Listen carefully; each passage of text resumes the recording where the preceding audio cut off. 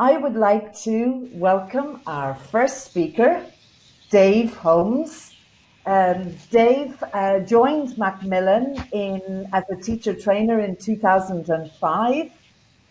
He then moved to the Macmillan Training Services team, where he co-designed a very successful project called Macmillan Early Learning Project or PATH. And this project actually reached the finals of the British Council ELTons Award. And then he moved to the BILI team or department. Now, BILI is a partnership between Macmillan and and and Edelvives uh, to publish for the bilingual sector, both at primary and secondary level. And in the BILI team, uh, Dave um, edited the Social Science 3 book for primary he also co he also authored the Formation Professional uh, level English levels one and two books. And since the autumn of 2019, Dave has been with us in the educational consultants department, and we're delighted to have him and to have all his experience and contributions to the team. Uh, today, Dave's talk is called One Activity, Many Faces. Welcome, Dave. Hi, Louise. Thanks for that welcome. How are you doing? You're looking well. Good. You're looking really well as well. Looks like oh, you've had good. the sun. That's good. I'm pleased to hear that, despite my weeks of confinement. Um, yes. I'm feeling well. I hope everybody else is well. Is everybody well? You're looking well. Well, I'm sure you would if I could see you. Um, as Louise says, welcome to this session, which is called One Activity, Many Faces. And uh, why many faces for one activity? Well, because we need to make each activity accessible to all our learners. Okay, uh, so the sort of common denominator here is, or the the under underlying message is mixed ability. And uh, I'm going to launch straight in with a question. Okay, uh, that I'd like you to answer um, using the, uh, the, the poll. Okay. Um, you'll see a series of uh, statements here, uh, typical myths about mixed ability teaching. Okay. One of them, I think, is actually true. Okay. One truth amid the myths. Okay. So, uh, can you go to the uh, poll tool? Okay, and I will read them all out. And uh, whichever one you think is correct, just type the letter A, B, C, or D. Okay, first one. Um, catering for different levels means a lot more preparation. If you think that's true, choose A. Write A. Okay. Uh, if you think B is correct, pupils either complete a task or they don't, choose B. That means there's nothing in between. It's either right or wrong. Okay, you complete the task or you don't. Or C, it is important to establish a baseline for each activity and then decide how you can build on this. If you think that's correct, choose C. And finally, in any group or pair work activity, pupils need to work with other pupils of similar ability.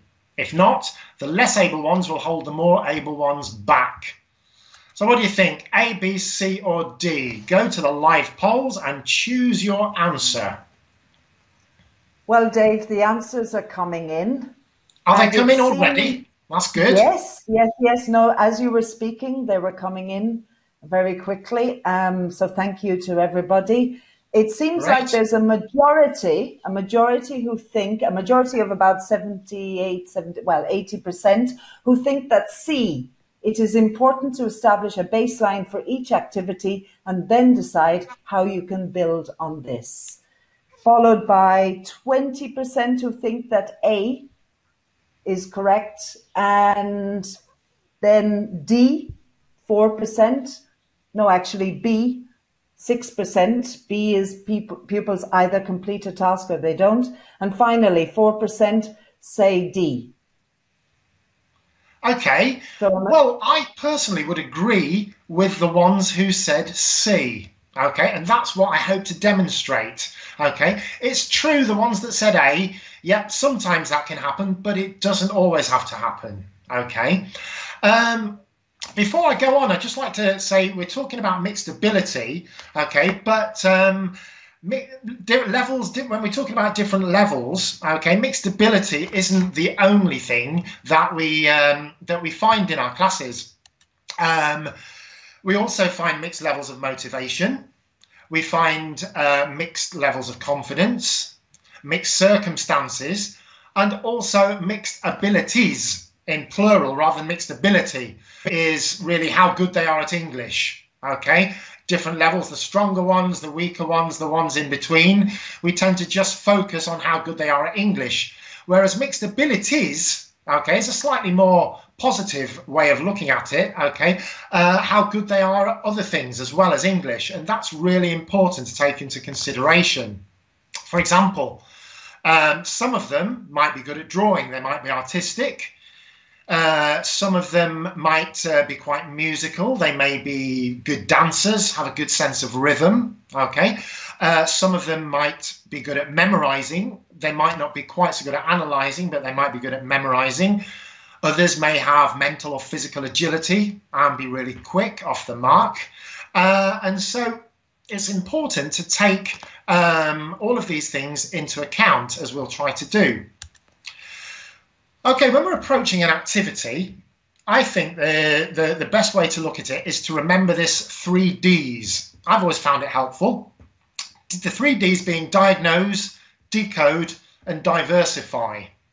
Okay, what I mean by this is diagnose is think to yourself, what challenges will my pupils face with this activity? How many are going to be able to do it as it stands, okay, without changing it? As it stands, as it is presented in the course book? Will I need to simplify it? Or will I need to not necessarily simplify it, but support their learning, scaffold it? Or will I need to extend it? Okay, and what about the language itself? How will I decode it? What might they what might my, my pupils find difficult about the language? And then diversify. What can I do to bring in the other strengths that my pupils might have? Okay. So talking about scaffolding, which is one of the big things that we uh, we can do to help. Okay, it's always good to bear in mind another group of three, the three R's: recycling, realia, and regular routines. Okay, let me show you what I mean. We'll start off with regular routines. Okay, so um, they may not have two. They, at the moment, I'm going to look at first uh, the first two years of primary, first and second. But really, these things are adaptable to to other levels as well. But um, thinking specifically about early primary when we have routines, okay, or, or we um, particularly signal our routines, what we can do is take some of the language away from the course book, some of the language they may have more difficulty with. They may be okay at word level, but at sentence level, they may need a little bit more support. So we can take some of our sentence level language and form routines from it. Typical question, answer, stimulus, response routines. Can I have some bananas, please? Here you are. The teacher asks the question, the pupils answer the question. We can build this into a transitional routine. And what we're doing is we're giving pupils that extra exposure and practice of production of the new language. So it's a good way of scaffolding, okay? Then we can change it from bananas to apples, okay? To bring in uh, the other vocabulary. One way we can uh, help pupils to, uh, to, to become familiarized with the rhythm and the intonation of the new language chunks is to do a back chaining uh, uh, activity. I don't know whether you're familiar with this, but um, English is a stress timed language, which basically means that the stress falls at regular intervals. The stress falls at regular intervals. Okay, when I say that sentence, I'm heading for the word intervals. I know where I'm going. That's the last word. So with back chaining, we take the last word and we build backwards. Okay, I'll give you a quick demonstration. In a class, I would do this uh, uh, a lot more slowly, but I'll just show you how it works. Bananas, please. Some bananas, please. Have some bananas, please. Can I have some bananas, please? Etc. So you're working back, working on rhythm and intonation. And this is particularly good for pupils who are quite musical and have a good sense of rhythm. Really helps them. Okay. Realia, realia, I've never known how to pronounce it, but what it means is bringing real objects into the classroom. And very often the kinds of uh, lexical sets uh, word groups, vocabulary sets that we find in early primary books are quite easy to get hold of. It might be food, we can bring it in easily, classroom objects, toys. So, why don't we set up situations where we can get them to act out? Can I have some bananas, please? Whatever the dialogue, but pro provide them with a chance to use that language in a meaningful context. Recycling. Okay, here's an activity called conveyor belt. Very easy. Two boxes, one here, one here. Okay, and uh, a set of flashcards or objects. They can be from anything that you've done in the term. Mixed uh, vocabulary sets. The idea is you move them object by object from one box to another. Okay, and then after you've moved them all, as many as you like, you can challenge pupils to remember how many objects they saw moving along the conveyor belt. This is really good for pupils who have good memories. Okay, it gives them a chance to shine and help their help their classmates as well. So there's just three examples of um, how we can scaffold. Um, let's have a look at the beginning of a unit. And this is from third of primary, okay? It could be third or fourth of primary, but this one is from uh, our new course, which is uh, Steps into English, and it's um, a typical unit beginning. Okay, so what we find here is we've got the vocabulary presentation. So going back to our diagnosis and our decoding of, okay, what language problems are they going to have? Well, this is quite straightforward because it's just a vocabulary presentation. So let's have a look Let's have a look at this lexical set here. And immediately we can see that three of the words are not exactly cognates, but to um, in most regions of Spain, they'll be fairly recognizable. Okay, tiger, elephant, zebra. So maybe we need to uh, um, fix our focus, our attention on the other words that are going to be more difficult. How can we do that? Well, one old classic that I'm sure you all know is Kim's Game. Kim's Game is where you put flashcards on a board, objects on a tray, they hide their eyes, you take one away, and they have to remember which one's gone. Okay.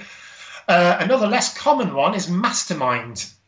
Okay, and this comes from uh, a game we used to play uh, when I was growing up. I used to have a set. Um, uh, in the UK. I don't know whether you had it here, but the idea was it was like a board. It had little holes for putting pegs in, and uh, you choose, you would choose three different coloured yellow and green, but your opponent wouldn't see them. They had to guess your three colours and your order, the order you put them in. So this is a game that I sometimes uh, have done in the, in the classroom to help um, sort of hammer some more difficult vocabulary. And it's exactly the same principle, but um, maybe with a set of uh, mini flashcards or just writing the words down. Mini flashcards are great. Uh, they're something that you can actually make uh, in class, get fast finishers to make them, uh, whatever. And um, you can choose three, okay, but your opponent doesn't see them. Now, your opponent has to guess Okay, so I've got parrot, snake, and frog. So my opponent might go, uh, let's see, monkey, fish, parrot. Right, now, the answers I can give are black, white, or nothing. White means they've guessed the correct word and the correct position. Black means um, they've only they've guessed the correct word, but it's not in the correct place. Okay, and in the game we used to do this with little pegs, but we can just do it with circles drawn. Okay, uh, it's important they keep a record of what they've said and uh, the uh, and, and your reply because now with that answer black they know that one of them's correct. Okay, so by elimination, eventually they'll find out that parrot's the correct one, and they might say parrot, frog, monkey. They get a white because parrot's correct in the correct place. Okay, frog is also correct, but not in the correct place. So they get a black. Okay, they don't know whether the black is for snake or frog, so they just have to keep going until eventually they get all three correct parrot, snake, frog, and the answer is white, white, white. And what's happened here is that we have just hammered the vocabulary continuously so that um, they think they're playing, but we know they're learning. I think I've heard that somewhere before. So that's a great activity for um, helping pupils with some more difficult vocabulary, getting them to say it over and over again in the context of a game. Another activity to scaffold spelling for pupils that have difficulty is the old drawing on your partner's back, drawing the letters. You feel them, uh, you, feel your partner drawing. You have to uh, feel what the letters are and guess the word. Another um, good, uh, it's not really an activity, but for fast fin- for, for not fast finishers, for learners who um, are kind of getting the hang of the vocabulary, they're stronger learners, you can make them pronunciation police. Their task, their challenge is to listen for the pronunciation of the key vocabulary, make sure that people are saying zebra and not thebra, okay, and basically police the pronunciation. And this is a rule you can swap round, okay. Um, so that's another way of uh, of giving maybe more able pupils um, more of a challenge. Okay, so imagine we've done in the unit, we've done the vocabulary presentation. And the next thing is where the vocabulary is contextualized uh, and the students, uh, the pupils produce it, uh, usually in the form of a song. Okay, here's the song. Uh, songs are great for actions. Actions help to consolidate meaning. Lots of opportunities for actions in this song. As you can see, there's a picture of me in my garden being a tree. Okay, the idea is that uh, uh, pupils would take it in turns to be the tree and in a really sort of interactive kinesthetic way other pupils in the class would take turns and according to the verse in the song it's the first one it's behind the tree they would place the flashcard behind the tree or in it or on it etc and when you get the handout you'll see ideas for other kind of language points where you can actually do this and bring this to life and help consolidate meaning. Then you've got the grammar, okay? What problems in this unit could they have here? Well, the most likely thing really is the prepositions now, because that's the, uh, the language focus. So how can we scaffold these? Well, one thing we should always um, take care to do is link the learning Okay, link back to the song. The language here is repeated from the song. Maybe get them to chant a little bit. Okay, or fix on the actual main target language, the prepositions. One way you can do this is divide them up into groups. Whole class activity, but uh, into groups. The in group, the on group, the behind group, the under group. Okay, so here simply you get a box you take an object or a flashcard, put it, for example, in the box, and the uh, in group will shout in. Okay, and this is a good example of uh, an activity where we can build in some multiple task fulfillment so that it's not just a, a black or white scenario. There's, there's only one form of task completion. No, let's tailor our task completion to our different levels. So the baseline level is simply to say in. Okay? Or they can say in the box. Or the more able pupils might want to say it's in the box. You can encourage them to do that. And the great advantage of this is that as well as have as everybody can uh, can basically fulfill the task and get the important thing, which is the preposition, uh, you can expose some of the weaker pupils to the modelling of the stronger pupils. Okay, so eventually that will rub off on them and they'll be making complete sentences as well. Okay, so we've established our baseline. Okay, they should now be in a position where they can carry out the activity, but some pupils may need more time than others. Okay, so it's important to have an extension in mind. This is a question answer activity. So some of the fast finishers can turn it into an answer question. I'll say the answer, you guess the question. You can either look at your book and find the question, or you can do it from memory, which is a bit more challenging. Or another good uh, um, thing to do with fast finishers is to recycle some other language. So you're bringing in some language they'll already be familiar with. In this in this uh, example, um, one pupil thinks of it's behind the tree, for example, and the other one has to guess: is it in the tree no, it isn't, is it? Behind the tree? Yes, it is. So they're recycling other language. Okay, and um, two things we need to consider when teaching grammar are mechanics, the mechanics of the sentence, how it's built up, and the meaning. And this is exactly what we've done by scaffolding and extending the activity. Right, it's your turn. Okay, um, I've got I've um, written a statement here which is there is no such thing as a difficult text for reading. There is only a difficult task. Now, if you disagree, my aim is to convince you otherwise. Right, how many of you speak Hungarian? Anybody?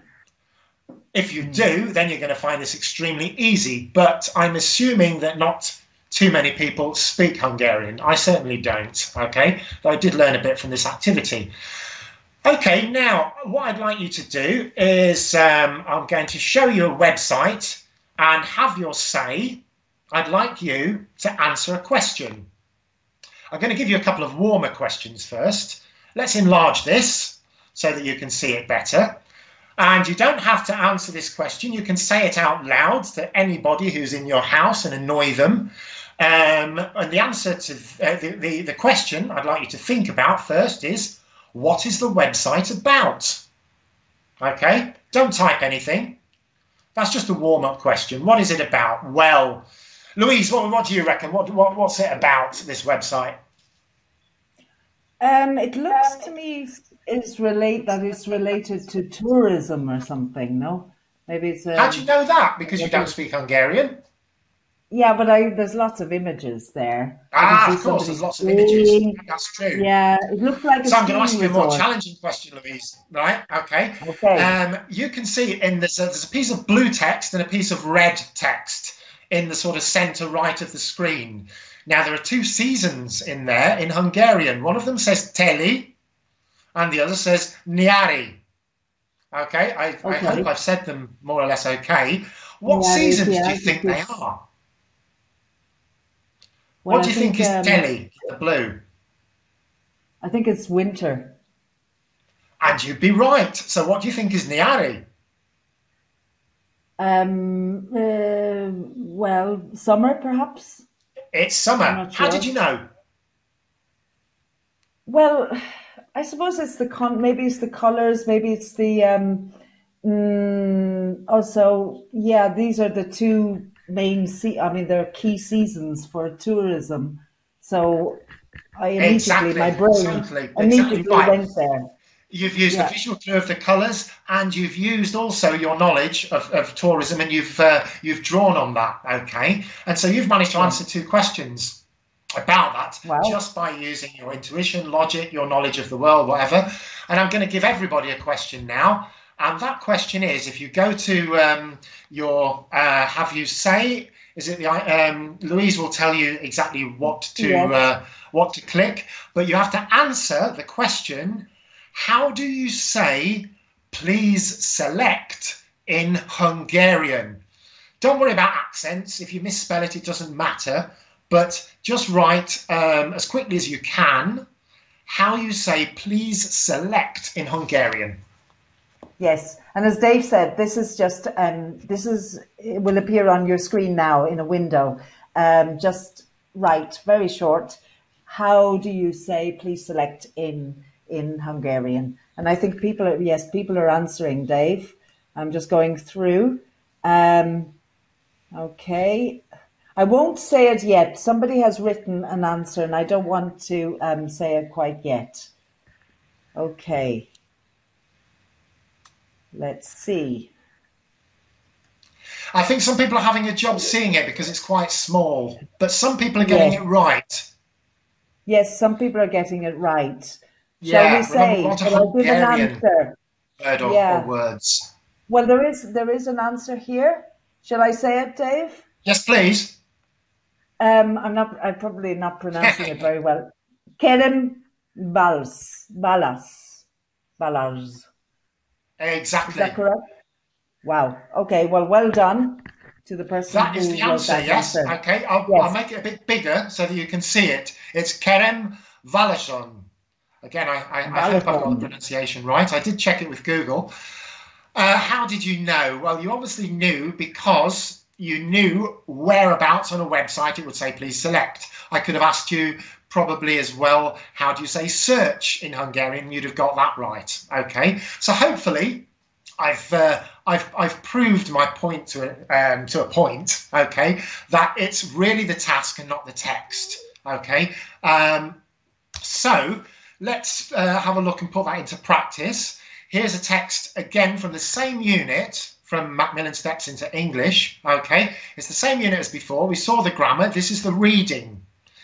Let's have a look at our question because we want to establish a baseline um, activity. How many animals hide in grass? Well, uh, if we enlarge the parts where this information appears, we could probably say that a Hungarian who didn't know English could do this activity okay. It's fairly mechanical because all they've got to do is match the language. Okay, so I think we can safely say this is our baseline. So what we need to do is extend this, okay, for fast finishers. One thing is we can get them to create a table and categorize the information in the text. For example, the animal, uh, the size, the color, what it can do. And again, we can make uh, this multiple task fulfillment. We can um, ask some pupils to, we can give them the categories, okay? But if there's other pupils we feel could deal with a challenge, we can get them to deduce the categories, okay? To get them to invent it. Another thing is vocabulary collection. Get fast finishers to collect vocabulary so that when the others finish, you pair a fast finisher with a slower finisher and they test each other on the vocabulary using the list that the fast finisher has created. It's multiple task fulfillment because uh, you can do this in a variety of ways. A correct answer is simply a translation, or you can challenge them to uh, put this into a sentence, okay? The sentence from the original text. So got, what you've got here is pupils working towards their ability, and then you've got the um, more able pupil modeling the language for the pupils having more difficulties. So eventually they'll be able to pick up on that modeling and, uh, uh, and, and take that lead and probably be able to to imitate what the uh, what the other pupil's saying. Okay, so it's a kind of a way of one pupil teaching the other without it really appearing that they're teaching. Okay. Um, so, uh, moving on to another type of activity, speaking. Okay, and this is a great activity for any dialogue, mini dialogue, question answer exchange. The core activity is the dialogue. Once they've practiced that in pairs, you can put them into a group of four. And you can convert this from being a boring course book activity to being on a film set. Okay, um, you've got a director and you've got a reviewer, and this means bringing in more language. Obviously, you would have to input and scaffold this language the first time you use it, but once you've done it a few times, you'll find that it becomes quite second nature. You can have the director saying, You ask the questions, you answer the questions, you stand here. Here are your props. Okay? And you can have the reviewer giving a reaction. That was great. That was excellent. That was fantastic. Okay. Um, to get them to really listen, give them a task, they have to judge the pronunciation and give them a score. Pronunciation nine points, etc. Okay. So now you've basically got two stronger pupils modeling all of this language for the possibly weaker pupils. I don't like using those terms, but just really as a shorthand so that we uh, we realise we're talking about pupils that can do it easily and uh, ones that may need a bit more practice. And after you've done this a couple of times, you've got the stronger pupils to model the language and you can swap roles. Okay. Uh, so it's a good way of cooperative uh, cooperative learning, okay, where so that you can get this the uh, the stronger pupils to model for the for the uh, for the weaker pupils okay? Uh, or if you don't want to, to swap tasks, everybody is doing something that they can comfortably fulfill. Right, so what kinds of thinking skills will our pupils have practiced so far at these levels, which are really first to fourth of primary? Well, lower order thinking skills such as recognizing, memorizing, listing, understanding, okay? Um, these are sort of base level skills that are appropriate for these age groups that we can use then to build on as they get a little bit older. And what I'd like you to do while I look at the last two skills, okay, listening and writing, uh, at uh, fifth of primary level, okay, I'd like you to think on what skills they're using here to build on these. So let's go to a listening, okay. Now, um, the best way of scaffolding a listening is to uh, bridge the gap. Bridging the gap means bringing the student, the pupils closer to the listening to make it easier for them when they come to listen, because listening is a very difficult skill. How can we do this? Well, we can do our Hungarian diagnosis, or we can elicit the vocabulary, the target vocabulary from them. Okay, this is called problems in my environment. So what I've done here is I've taken screenshots of the problem areas. Okay, if I don't uh, have uh, an interactive whiteboard, I can simply get them to cover this up in their book and I can elicit where are these problem areas. Okay, rivers, trees, the streets, okay. And uh, these are the, the categories that they're going to hear about in the listening. Now I can take each one of these, okay, and uh, they can create a mind map and I can model the first one for them. Now, I know because I'm the teacher and I've looked at this beforehand that the target language is adjectives. Adjectives to do with places in a city, okay? Uh, some related to uh, pollution. So I can ask them, and I, I, can I can do this on the board first. Take rivers and build up a mind map and say, what's the problem with these rivers? And they can say they are polluted, or they might say they are contaminados, in which case I can sandwich and say, yes, they're polluted. Contaminados, polluted. Okay, and I write polluted on the board. I do the same with dirty. We elicit that. I also know that in the post listening, they're going to be pairing adjectives with their opposite. So that's something I can elicit from them at this stage as well. We know the river's dirty and polluted, but how would we like the river? We'd like it to be clean and clear. Okay, so by the time they come to listen, okay, they've got a massive advantage because they've already produced the target language themselves. Moving on, as we have to really quickly because uh, we haven't got much time, um, the, a writing task. Okay, typical writing task. Um, first thing, what do I need to do to diagnose the uh, the language that, uh, that that we need to kind of work on and support? Let's have a look. Okay, here it's there is, there are, there isn't, there aren't. Great activity for doing this is tennis, writing tennis. Okay, right, groups of four. Within your group of four, pair A and pair B. Pair A and pair B each get a piece of paper. And then I dictate a word to all of the pair A's, which is hotel, and I dictate a word to all of the pair B's, which is lots, because I'm thinking of my sentence with there is and there are, the language they're going to need to produce. Okay, the focus. Now, what I ask them to do is write a word before or after this word. Okay, now swap your papers.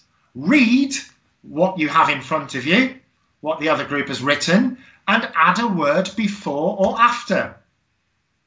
Swap back again add another word before or after. And this activity can have two conclusions. It can either be the first group to com complete a sentence is the winner, or more challenging, the first group to complete the sentence is the loser. The advantage of this is that it challenges them to think about how they can keep building the sentence to avoid completing it and make their opponents complete it. And so as soon as they receive a sentence, so um, that is a complete sentence, okay, on their paper from the other group, they go, that's a sentence, and they win the point, okay? Finally, one last activity, concentric circles. Okay, you can do this about any text because they tend to be structured in a very similar way. Draw a series of concentric circles on the board. Rome was the title of the uh, text, okay, and um, then I can either elicit what's in the rest of the text by saying in the second circle, we're moving out, okay, what's the essential information about Rome? What is it? Where is it? Well, it's a capital city. It's in Italy. Okay, what's it like? Next circle. It's old and it's busy. Okay, in Rome, what is there? What are there? Well, there are ruins, there are hotels, restaurants, etc. Then what can you do? So what we're doing is we're making a visual representation of the text. This is a great way of mapping out the text. Okay, um, what I could actually do is then um, with elicited words, get them afterwards to fill in the words from the text okay, into these categories. And then when they come to uh, use this as a model to write their own text about their own city, they've got everything they need, the language all mapped out in the concentric circles. The other advantage of this is again, it's a multiple task fulfillment strategy. Okay, so when they come to write their task, the baseline can be you need to include information from the first three circles. Okay? If you, uh, if you can, try the first four circles. And if you're really feeling good, try something from all five circles. Okay? So you're giving all pupils a chance to fulfill the task and yet you're giving the um, pupils who can cope with the challenge something extra. Okay, so it's a great way of mapping out a, ta- uh, um, a text for writing. So back to the question of what kinds of thinking skills will our pupils have practiced at this level? And this is the last interactive um, task. And I'd like you to just think of one skill from the listening or the writing activity that pupils have practiced. Okay, and uh, and write it, please. Okay. Okay, so yeah, we'll give you a couple of seconds to do that. Uh, write a short answer, one task from the reading and writing, wasn't it? Yes. Okay. Let's see what people are saying.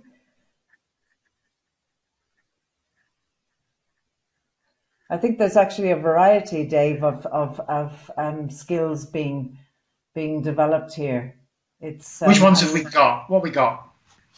We are. They're coming in now. Um, uh, let me see. Uh, okay, thinking skills. Oh yeah, um, we go. Inferring. Inferring. Connecting, making connections between things, yeah. associations, and that's a key. That's really key in language learning, isn't yeah, it? Bringing absolutely. Together. Definitely. Um, uh, and absolutely, again, connecting uh, completing yeah. text as a model. Um, okay. There's also, I would add, analyzing as well. Definitely, yeah. Um, and so all yeah, of these suggestions, basically, we can see we're moving up the pyramid or the taxonomy, if we, we like. I'll just show you Absolutely. four that I, I wrote down classifying, discriminating, applying, deducing, but all of the ones that have come up here are equally valid.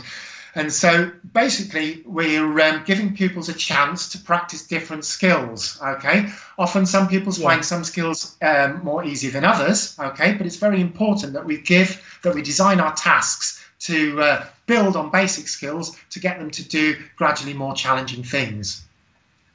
I've nearly finished. Well, in fact, I have finished. Uh, or I just want to point out a few more things that I think are really important considerations when teaching mixed ability. One thing is self-assessment, okay? Giving pupils a chance to take ownership of their own learning. And you can do this really simply by can-do phrases. Allow them to measure their own progress, okay? For example, set them the same writing at the beginning of every term or at the end of every term, okay, then they can see how much they've improved, and you can see whether the feedback that you've given has uh, has helped them, okay, and whether um, they they they have progressed. Also, you remember formative assessment, okay? It's the forgotten sibling of summative assessment. Summative assessment is the big bully that tends to eclipse uh, formative assessment because teachers have to put a number for the parents to put on the report okay? But we should also remember that assessment gives us a chance to find out where the problem areas are. Where do we need to scaffold? Where do our pupils need more help? How can we um, fine tune our teaching? How can we adapt it um, to be able to uh, solve these kind of problems okay? So it's worth bearing in mind. Informal peer teaching um, uh, we can even we, we, we've seen lots of examples of that. Uh, bearing in mind uh, the old uh, Vygotsky's zone of uh, proximal development, which basically says that children learn from a more knowledgeable either other child or adult okay? And often this has much more impact if they're learning from a peer than learning from a teacher. So build the kind of opportunities into activities that we've looked at in this session. And finally, I would say the most important of all, okay, is the big motivator, which is praise. Don't just praise task fulfillment, praise efforts. If they've made an effort, then give them some praise, and your words will mean the world to them. A great quote here children are like wet cement whatever falls on them makes an impression, and it's always worth bearing that in mind. Okay. Um, if anybody has a question, just for the last couple of minutes, it would be uh, be great to uh, to hear your questions, and we'll try and answer them if we can. Um, So please do uh, send your questions. And uh, I'd just like to say, I'd like to reiterate what Louise said about uh, well done, everybody, for uh, for keeping education going in these difficult times, and many thanks for watching and listening to me for this uh, for this um, this talk. That's great. Thank you very much, Dave. Yes, we'll just wait now um, a couple of seconds to see if um, some questions and comments come in. Um, Dave, you've offered a lot of um, great ideas, and I think your your your really um, key point about um, trying to reach all abilities has come through crystal clear. And you've you've offered so many ideas for doing that at all the different levels, from primary one up to primary six, and even within these levels, the the activities are uh, can be adapted, no, from level to level. Um, I think that's a very um, important point that you've just made. Yeah, mm. we've illustrated them uh, tied to certain levels, but uh, you can adapt them all to uh, to whichever level that you're teaching. Exactly. Yeah. So people are saying thank you very much. Thank you very much, Dave. I just want to say great Thanks ideas. Yes, um, I'll just check see if there are any questions. One second, I'm going down the list. Oh, could you repeat your final sentence about children are like cement? The person really oh, likes yes, to comment. Yes. Maybe okay, like I will. Go back, uh, I'll put that back, back on. Uh, let me just find that slide. Um, it, it, was by um, Chaim Ginott, who was a child psychologist and uh, educational theorist and a teacher as well. He said, Children oh. are like wet cement. Whatever falls on them makes an impression. An impression. Absolutely. And so it's very important what falls on them and, and yeah. what we do in the class. Yeah. Well, thank you so much, Dave. It's been a real pleasure. And thank you for sharing all these great practical ideas for, for, the, for our classes.